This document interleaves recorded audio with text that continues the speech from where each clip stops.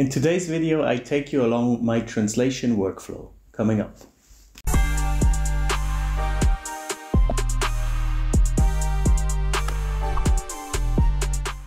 Hello and welcome back to the Freelanceverse. Thanks for coming back to the channel.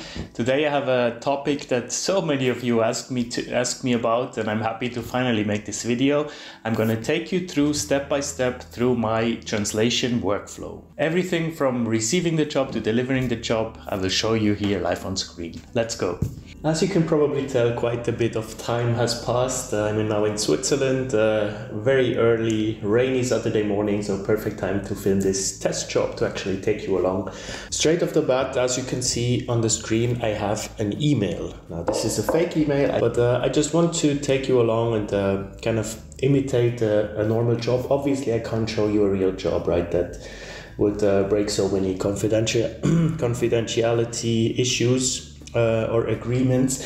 So I faked this whole uh, situation today, but I'm still going to show you exactly what I would do in real life. All right, new job request, uh, 5th of November, Freelanceverse. That is today. As you can see, it's quite a last minute video. I filmed this on Saturday and you see it already on Monday. Hi Adrian, we have a new job for you. We need this short text in English translated into German.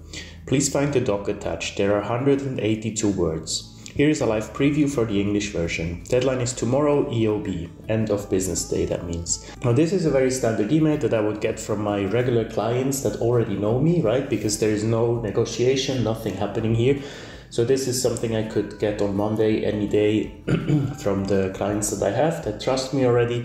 They find a job. Now, this is about uh, the World Cup, so it's sports related. They probably think, yeah, Adrian, that's a special specialization English to German is perfect for him, send it to him.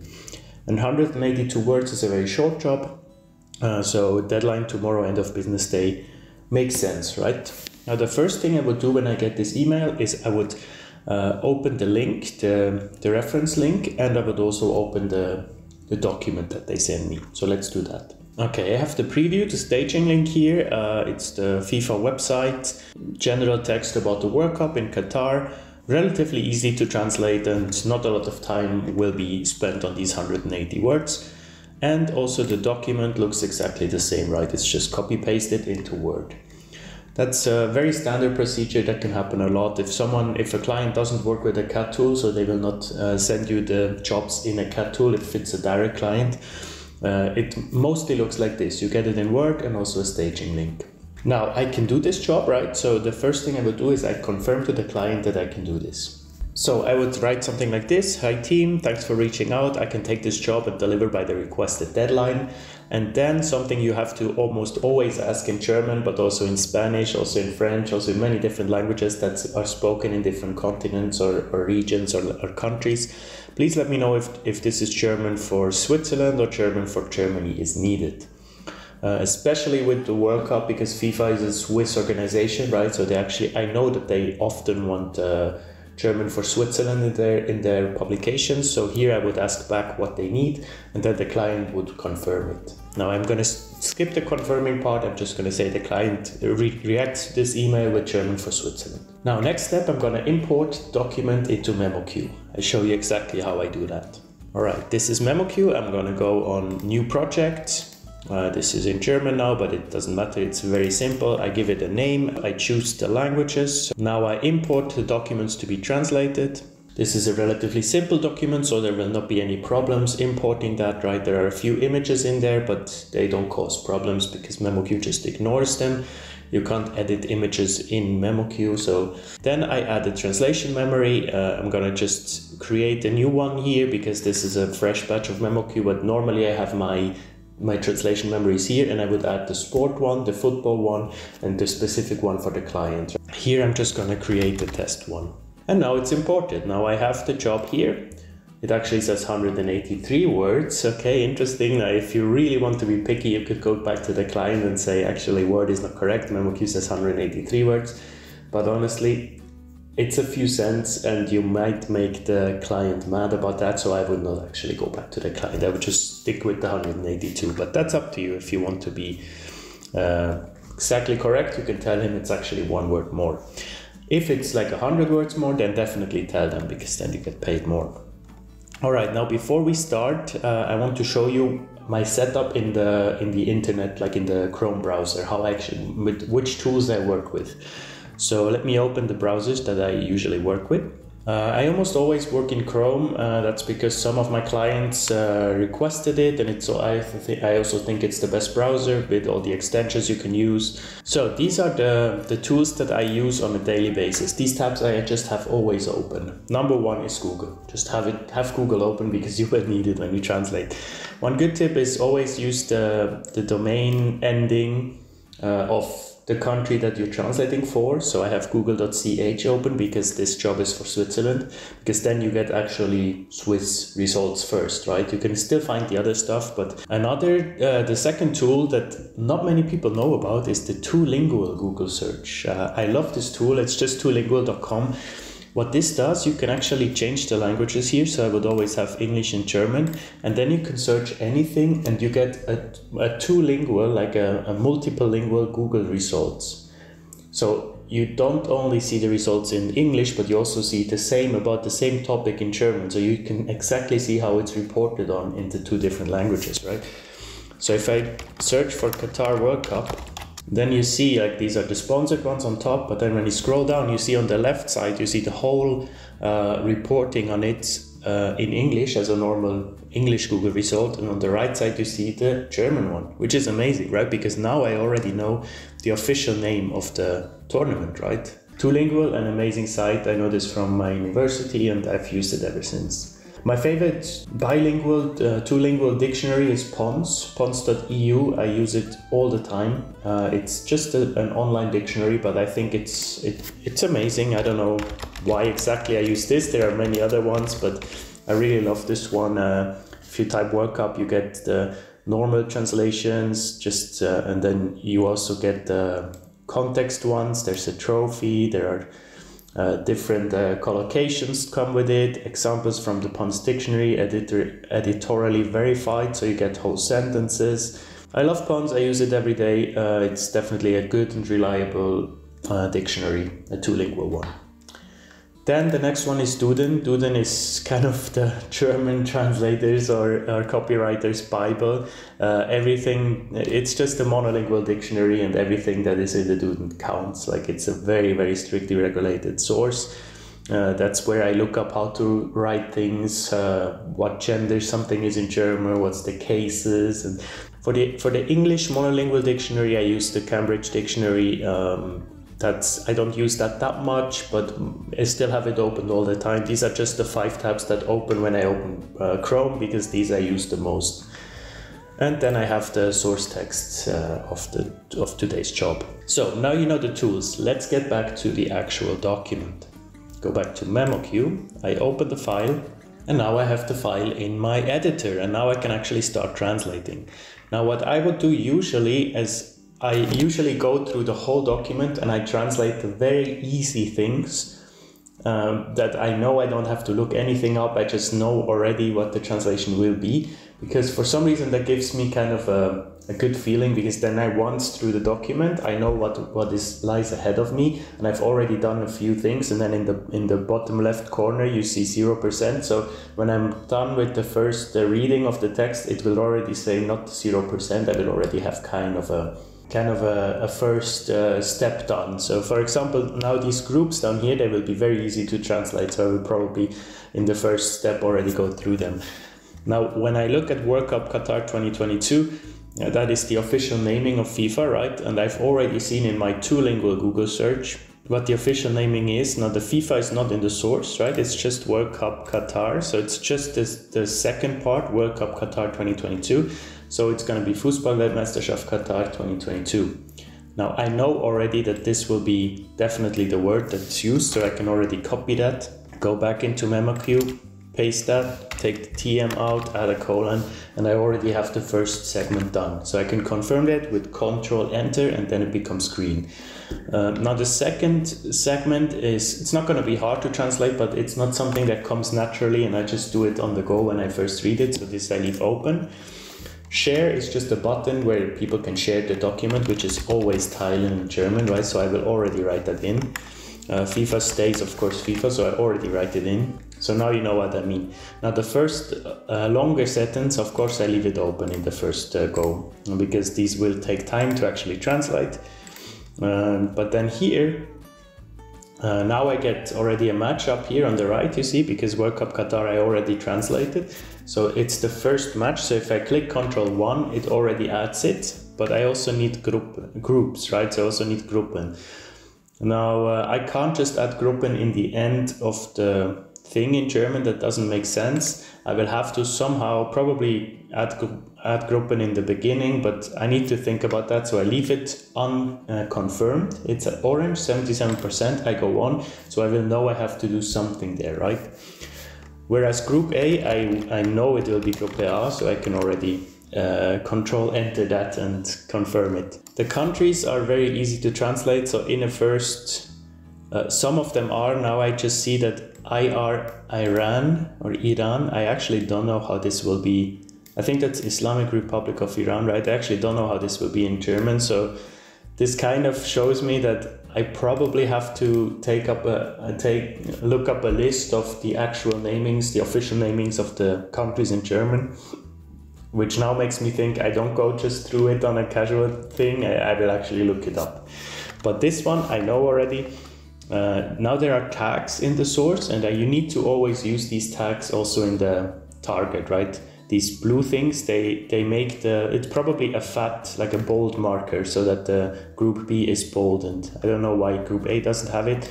So what I do uh, when there are tags in the source, I would always, this means copy the source text. So I would always click that so the tags come with it and then I just add group B, control and now probably I get the match. Yes, now you see when I'm in group C, I see on the top right I get a match, 85%, because the only thing I need to change, if I do now control 1 to take this match, the only thing I need to change is B to C. That's all. That's why it's an 85% match. And then the same here, control 1, etc. So I do that now, and then I go back up and I actually start translating, right? Uh, teams, groups, fixtures, stadiums, tickets, and more. Uh, I would leave the structure relatively, yeah, actually, probably exactly the same, the structure. Uh, but then I would go to the FIFA website and see how they translate teams. Uh, groups, I already know it's group, Gruppen, but fixtures can be many different translations in German. So I will go again to the FIFA website to find a, a, a connection to see how they translate it stadiums is, is probably Stadion, tickets is probably tickets. I would now do a lot of research on the mainly on the FIFA site, uh, also on other websites online with my two lingual uh, Google search, as I said, and I will translate this and get back to you when I'm done. All right, the translation is done, and something relatively interesting came up uh, that I could have foreseen. But it also it's good that it came up because it can definitely happen in real life as well. Uh, I found some of these segments quite a lot, actually, definitely also with the groups. I found them on the German FIFA website already. They were already translated now. If that happens, definitely just take the already translated one because that's uh, usually um, already reviewed and it's live, so you can definitely use that for the groups. I, I just use the words. But something interesting was that this segment I found, this whole segment, here's everything you need to know about Qatar 2022 with full details on the teams, groups, complete fixture list, standings, how to buy tickets, and more, was translated with it, this very short sentence. This just means here you find everything you need to know about, about Qatar. It makes sense that this is shortened because all the other rest that they say is already set up here, right? So they just shortened it. Now you can use that because and probably should use that because it's already reviewed. But here I would ask the client back if it's okay to use the already reviewed version because you leave out a lot in the source, right? It makes sense to leave it out. I'm not saying you shouldn't, but here I would be hesitant to just do this, do this and not say anything. I would probably go back to the client and say, hey, look, segment nine, I've already seen that. Uh, on your website, it's been shortened. It makes sense to shorten it. Is it okay if I do that as well? And they would most likely confirm it. Uh, so I'm going to skip this step, but let's let's just assume that they confirm this for me. Uh, so now the next step is you have to do the QA checks and the spell checks in MemoQ. I show you how this is done. You go to review here, you Überprüfung, it's called in German, and then you have Here the thumbs up thing is called uh, quality assurance. So you just run this quality test.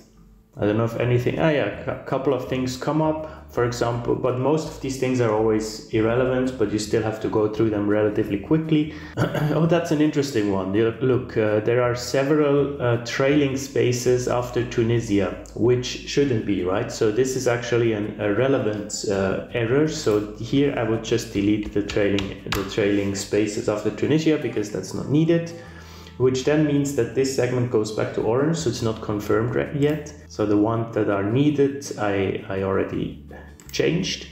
But now that means that one segment will not be confirmed anymore, this down here with Tunisia, so I have to go back to it and confirm it again. Now, next up is exporting, right? Because the client didn't send me this file in MemoQ, so I'm not gonna send him a MemoQ file back, that makes no sense. I need to send him the same file back that he sends me or she sends me. If they send me a MemoQ package, I send a MemoQ package back.